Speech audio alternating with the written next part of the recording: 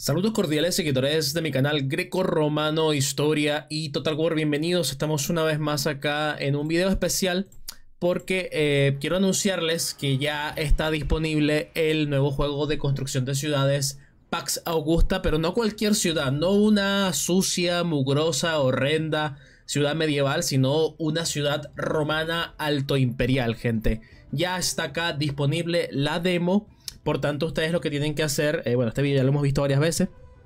Lo que tienen que hacer es venir a este enlace que va a estar puesto en la descripción, entrar acá donde dice descargar Pax Augusta Demo, ustedes le dan allí y la va a descargar automáticamente en su PC y van a poder jugarlo. El juego de momento no tiene una fecha específica, eso se irá a anunciar más adelante, pero por lo que se ve está bastante, bastante avanzado.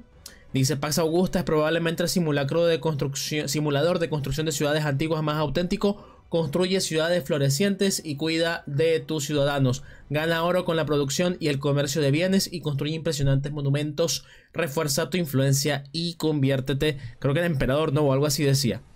Pero bueno, em, lo dicho, esto nosotros ya lo hemos analizado antes en el canal, ya yo les he comentado de qué va todo esto. Em, es, a mi modo de ver, es uno de los mejores juegos en cuanto a lo que es el apartado histórico de la Roma antigua. Por ejemplo, aquí nos encontramos con un teatro romano perfectamente bien hecho, perfectamente histórico. Además, fíjense ustedes la planimetría de la ciudad, el puente por allá, el hecho de que hay eh, pequeños monumentos, probablemente funerarios, una puerta, ¿no? Eh, bastante... Es que todo está muy bien hecho, todo muy al modo romano. Yo quería perdón, yo quería traer para acá eh, la demo y tal, pero el hecho es que, bueno, de momento no lo voy a traer porque está en inglés. Ustedes saben que a mí el hecho de que las cosas las pongan en inglés me fastidia bastante la experiencia porque yo quiero, digamos, tener allí la atención plena, completa, ¿no? En lo que sería el, eh, el video o el directo en sí que, que voy a hacer. Y el hecho de que esté en inglés y que no sea mi lengua materna, que no me gusta, que no estoy cómodo en ella, pues sencillamente yo paso hasta que ya salga una traducción. De todas maneras, yo tengo una excelente comunicación y trato con el creador de este juego. De hecho, mm, me siento orgulloso de, haber sido el primero en haberle dado apoyo y difusión. Difusión, perdón. Tanto es así que, yo le pasé esta información a Hugo Tester. Él lo compartió también. Hizo un video bastante guapo sobre el juego. De hecho, a raíz de eso fue que llegó un montón de gente de comunidad hispana a Pax Augusta, a la cuenta de Instagram del creador, también al, Steam. Y eh, bueno, le dan allí a añadir a, la lista ¿no? de, deseados para que Steam les recomiende, les avise por si hay actualizaciones, por si hay información nueva. Y bueno, fíjense ustedes, esto es algo que por ejemplo no se ve en Rome 2 porque Rome 2 va más de batalla, ¿no? Y esto es gestión de ciudades, creación de ciudades. Fíjense ustedes el detalle de los almacenes en el puerto, las barcazas que vienen con las ánforas cargadas y otros bienes, cómo están desplegándose acá para traer esas riquezas y hacer prosperar la ciudad. Fíjense ustedes además que tenemos por aquí un templo, atrás mío justamente un templo perfectamente bien hecho que tiene humo en su altar, hay una ofrenda allí que se hizo. Además de eso, más adelante se ve un podio y algunos ciudadanos que están en torno a esta a este lugar, eh, bueno, probablemente rendiendo culto al sacrificio, a la ofrenda que se ha hecho. Y la verdad es que el nivel de detalle en todo, en absolutamente todo, está muy bien hecho. Fíjense ustedes también que no se ve esa ciudad típica romana, eh, pálida, blanca, puro mármol, que no es realista, sino que se ve como eran las ciudades romanas. Es decir, mucho predominio del ladrillo, bastante blanco sí, pero también bastante color, porque fíjense ustedes en los capiteles de las columnas, cómo tienen color, cómo se ve ese color vegetal, esos tonos dorados, ese rojo también, ese rojo romano tan presente. Además, fíjense el nivel de detalle que tiene, por ejemplo, esto del mercado, un mercado bullante con una cantidad de gente comprando, vendiendo sus mercancías, pequeños santuarios en medio, una gran y potente actividad comercial, además de mucho, muchos vapores, muchos, eh, mucho humo, ¿no? Muchas eh, bueno, mucho resultado ¿no? de la actividad comercial humana y eh, evidentemente no es el lugar más saludable en el que uno va a andar, pero bueno, en Roma era mucho más limpio que en, las aldeas bárbaras, evidentemente. Eh, o sea, yo quiero que ustedes sean un poco realistas, ¿no? Y si ustedes andan por un lugar así como esto, lo más probable, lo más parecido serían los mercados populares de nuestras ciudades, ¿no? En, en, los mercados populares de nuestras ciudades a menudo se ve así que hay eh, bueno, todo tipo de puestos, con todo tipo de mercancías, con todo tipo de olores, todo mezclado, ¿no? Una cantidad de sensaciones, la verdad, bastante interesante. Y esto es como esa parte de Roma oculta, porque siempre hablamos de legiones, siempre hablamos de templos, siempre hablamos de religión, de los emperadores, la historia, la épica, pero hay otra parte de la historia que también es muy interesante, que no tocamos tanto, sobre todo en el canal, pero que tendremos ocasión de quizás comentar un poquito más a propósito de este juego, como es precisamente esto que es más sencillo. Vamos a ver la siguiente imagen. Tenemos acá otro pequeño puerto. Em, no estoy muy seguro si es un puerto como tal, porque se ve que esto es como un riachuelo y hay como unas, pequeñas barcazas. Pero eh, se ve allí una fragua, como pueden ver, un herrero. También se ve otro, otro santuario, se ve humo, ¿no? Que sale.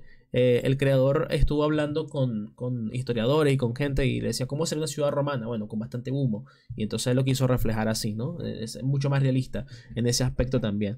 Y vemos un mapa muchísimo más grande, ¿no? Esto es algo que, por ejemplo, no tiene Manorlos ni, ni soñaría tener, porque aquí vemos un mapa histórico propiamente dicho de la provincia romana de Bélgica, ¿no? Y frente a la provincia romana de Bélgica encontramos ahí que hay una serie de tribus germánicas, ¿no? Está la zona que los romanos conocían como Germania Magna y vemos allí que dice Cabami, ¿no? Y Usipeti y Agribari, que serían básicamente, y los frisi por allá, los frisios, fíjense, los bueno, y otros pueblos que no alcanzo a, distinguir muy bien el nombre, pero bueno, tendremos pueblos bárbaros que estarán cerca y que evidentemente será una amenaza porque el juego también tendrá combate, ¿no? Tendrá combate y probablemente hasta mucho mejor que, que el Manorlos, ¿no? Que ya básicamente escaramuzas muy pequeñas. Pero bueno, aquí volviendo a lo que nos interesa, que es Roma, por supuesto, nuevamente vemos un pueblo, bueno, un poblado mucho más grande, mucho más avanzado. Eh, se ven esos edificios ya, edificios, ¿no? De gran planta Vemos también el mercado con sus santuarios. Parece que es el mismo mercado de antes o quizás eh, mucho más desarrollado, mucho más grande, ¿no? Y luego acá tenemos un poco del menú, como ustedes pueden ver, con bastante, bastante información, bastantes cositas. Va a tener calendario romano, va a tener una cantidad de, apartados Nuevamente el teatro, ¿no? El acueducto. Allá se ve un anfiteatro. Este es un teatro y este es un anfiteatro, como pueden ver. Hay diferentes tipos de edificios de entretenimiento. Fíjense ustedes acá, esto que es como una insulae o una de estas casas, quizás un poco más pudiente, ¿no? Porque quizás una insulae sería mucho más pequeña y mucho más mugrosa que esto. Esto se ve bastante bien. Y bueno, aquí este hombre está colgando alguna ropa en, eh, la parte acá de la pared, ¿no? Eh, mirando hacia la calle. Y además vean ustedes el detalle en los mercadillos, como tienen estas guirnaldas afuera. O sea, es que es, hermoso. Mira, otra vez otro mapa histórico. Cosas que el Mandalor no tiene, lógicamente, ¿no? Britania Secunda, por aquí dice Flavia Caesarensis y Britania Prima. Y más allá, Máxima Cesariensis, ¿no? Eh, regiones de Britania, precisamente. Y se ven eh, clarísimamente, ¿no? A primera vista. Salta a la vista allí los fuertes, unos fuertes cuadrados perfectos, ¿no? Luego seguimos viendo, miren aquí una estatua de algún emperador eh, me atrevería, o sea, sí muy a simple vista parece que es Tiberio, quizás podría ser Claudio, no lo sé, pero tiene esa sensación. Y fíjense ustedes además cómo hay el, podio mismo donde están dando este discurso, está bastante policromado, tiene una serie de imágenes ahí. Yo espero poder, cuando tenga el juego ya definitivo y, y pueda jugarlo en español y tal, pueda meterme allí y ver el relieve, el detalle Además, fíjense, como si, bueno, si fuera poco, ¿no? Las estatuas también son, están policromadas. Hay unas estatuas como de oradores que están haciendo el gesto de atlocutio y tienen allí la toga y demás. Además, la gente variopinta con diferentes tipos de ropa. Vemos algunos senadores con la toga blanca típicamente y otros que son ya la plebe que van vestidos de forma un poco más desordenada, menos uniforme. Vemos los acueductos, reparación de acueductos o construcción de acueductos con los respectivos andamios así como el montón de edificios cercanos, algunos más pudientes que otros, ya que se puede distinguir en base al color que tienen sus paredes, sus columnas. Y aquí tenemos otra cosa que es preciosa, preciosa, preciosa, que se trata de un templo, otro templo, como pueden ver, y el templo tiene una serie de... Mm, bueno, no sabría cómo llamarlo a esto, yo sé que es histórico, también se hacía, pero eh, formaba parte de, la decoración ¿no? y de lo que se hacía en determinadas fiestas y celebraciones romanas del calendario que podemos leer, por ejemplo, en la obra de, Fastos de Ovidio ¿no? y tantos otros. Bueno, aquí tenemos otra imagen, aquí se ve como hay una especie de fabricación de ladrillos o algo así. Ahí se está extrayendo la arcilla, por aquí se está trabajando y hay como una especie de factoría de, ladrillo. El, puente, fíjense ustedes también el, nivel de detalle, ¿no? De la torre, las, bueno, las, torres, la muralla, eh, las calles, ¿no? Esas, esa típica calzada romana y además de eso, si ustedes se fijan, ahí donde está mi puntero, hay un funeral. Eso es un funeral, gente. Ahí están haciendo un funeral. Están cremando a alguien. Y bueno, acá tenemos la ciudad. Una ciudad se ve bastante, mucho más grande, ¿no? Con gran detalle. Y sería la última de las imágenes. Chicos, yo lamento de verdad no traerles más del juego ahora, pero es lo que tiene. Eh, a, mí, el juego está en inglés y en alemán. Eh, a mí me parece, la verdad que es imprescindible, importantísimo que los juegos salgan en español, así sea una demo. Eh, me parece que los, que los hispanoparlantes somos muchísimos y estamos en aumento. Y yo creo que los juegos deberían salir en español, por defecto, ¿sabes? Los demos también, todo para que, eh, bueno, esta parte de la comunidad también lo pueda disfrutar de una forma mucho más eh, directa, ¿no? Porque yo sé que muchos de ustedes son bilingües o muchos de ustedes se manejan con el inglés. Yo podría, yo podría, mi conocimiento de inglés es muy bajo, yo podría darle un poco, pero perderíamos tiempo porque yo tendría que probablemente quedarme pegado con una palabra o preguntarles a ustedes qué significa esto, qué significa lo otro, porque mi manejo del inglés no es el mejor. Entonces la experiencia que yo podría ofrecer mostrándoles la demo, pues tampoco es una experiencia que sea muy interesante. Em, a, priori, ¿no? Eh, lo que yo voy a hacer por mi parte va a ser probarlo tras cámaras. Y lo que pasa es que esto también salió un día que yo estaba trabajando, ¿no? Salió entre mis días de trabajo. Yo voy a probarlo tras cámaras.